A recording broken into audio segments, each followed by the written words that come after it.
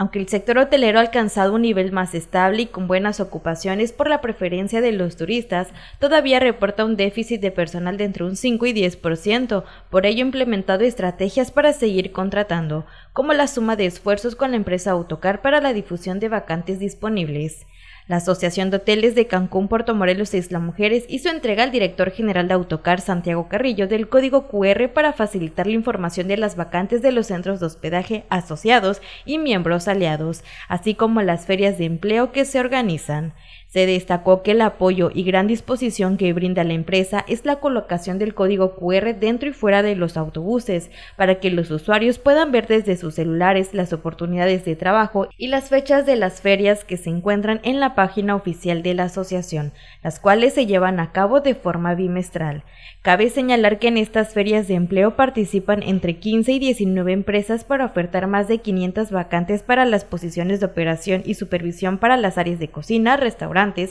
bares, recepción, seguridad camaristas, entre otras más. Con imágenes de Ricardo Vallejo informó para Notivisión Cilia Fernández.